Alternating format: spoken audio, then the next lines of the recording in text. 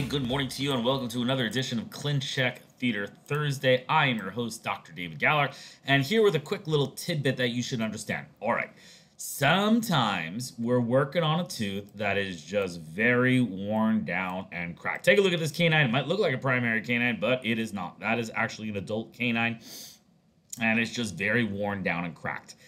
Now, in the Galler engine, remember there is no technician involved. It is just a computer program reading the tooth and trying to align it. Now, when the tooth is fully beautiful like this, with contours mesial, distal, and incisal edges, the system recognizes the tooth and is able to straighten it out very nicely and put it into the right spot. But when the system is given a tooth that is totally broken down and worn down, it gets confused. What's the mesial? What's the distal? What's the incisal edge? Where is the tooth actually located? And what it might do to a tooth is do something like this.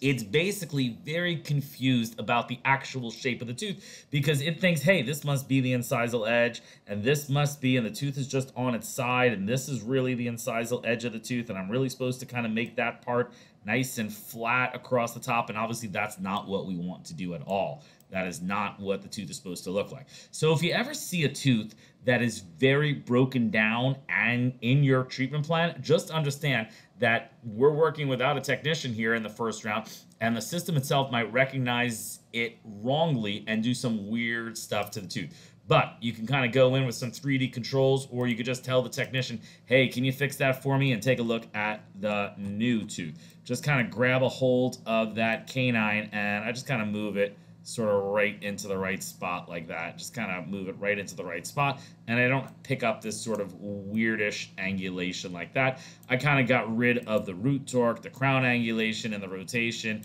and the end result is good.